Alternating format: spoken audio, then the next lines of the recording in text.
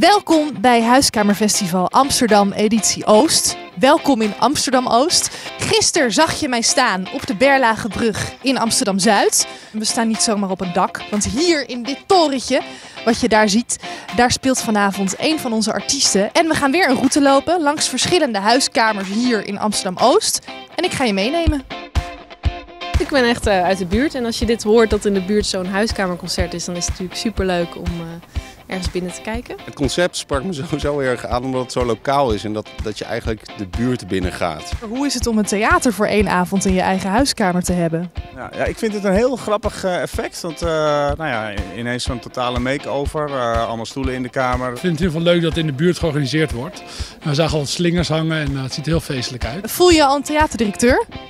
Volledig. Ja, ja, dat is iets wat, uh, wat ik van nature heel erg sterk altijd gevoeld heb. Dit is weer anders denk ik omdat je echt in iemands privé, tenminste dat verwacht ik ergens bij iemand privé thuis zit.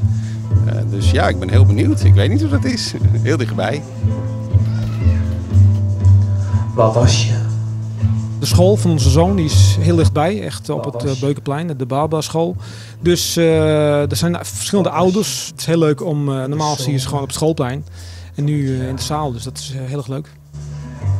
2003. Ik merk steeds na zo'n festival dat ik de buurt beter ken, omdat ik gewoon meer mensen ken in de buurt die dan uh, me aanspreken of, of die ik gewoon spreek. Wat was je? Um, wat gaan we doen? Nou ja, ik, ga, ik, ik heb 30 minuten om jullie wat te vertellen. Ik vind het superleuk. Ik doe het altijd met heel veel plezier en uh, het is heel prettig. Heel leuk om zo dicht bij mensen te zitten. Je kan allemaal nieuwe dingetjes uitproberen en het is heel direct, dus het is heel fijn. Eén van ons, die is dan de kruimeldief, hebben we het genoemd. En die moet dan alle restjes opeten. Dus... De reactie van de mensen voel je heel goed, weet je wel. Dus als je iets, je voelt bijna meteen of het aanslaat of dat ze het spannend vinden. Je kan de mensen heel goed lezen. Ik liep zo op ze af en godzijdank renden ze weg. Dat was zo'n lekker gevoel. Oh, ik hoefde niks te doen, weet je wel. Ik had toch gewonnen. Gewoon alle redenen om uit de huizen te komen en elkaar te zien af en toe is gewoon een heel goed, uh, een heel goed plan. Behalve vechtpartijen.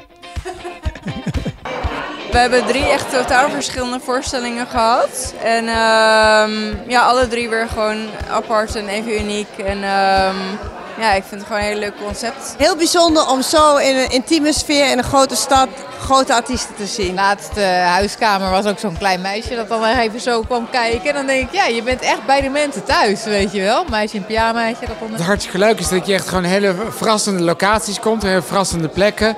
En echt gewoon le hele leuke voorstellingen. Je zit er gewoon heel dichtbij en dat vind ik wel heel erg leuk. Ja, gewoon echt zo, uh, ja, heel uh, gezellig, ja, sfeervol.